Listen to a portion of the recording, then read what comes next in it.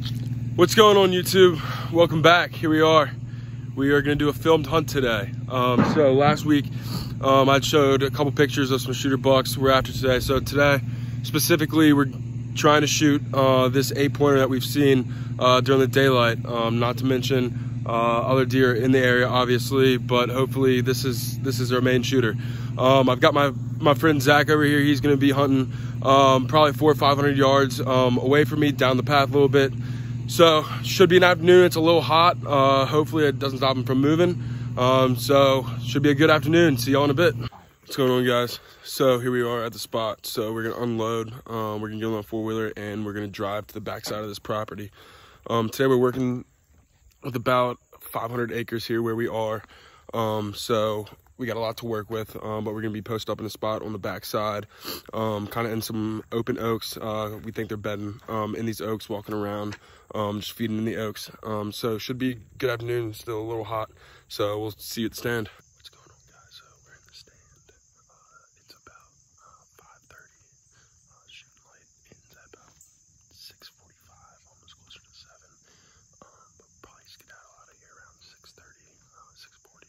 Uh, it just gets really dark in here. You can't see that far. Uh, so we're posted up um, in this this big thicket. Basically, we got um, a creek behind us, um, and the, on the other side of that um, is a big farm, basically. Um, and then uh, on the other side of me is a very thick bedding area.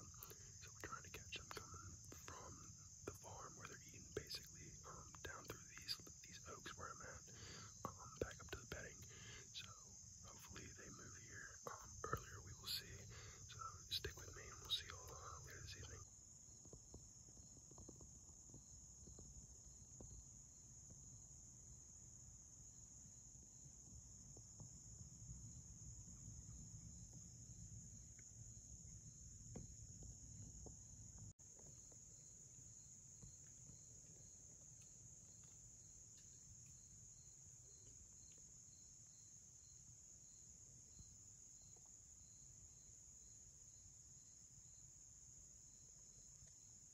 What's going on YouTube? So here we are, we just got out of the woods, just got back to the truck.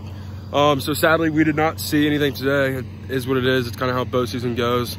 Um, it's hot here, deer don't really move that much in the heat, um, but it's still, still fun coming out here.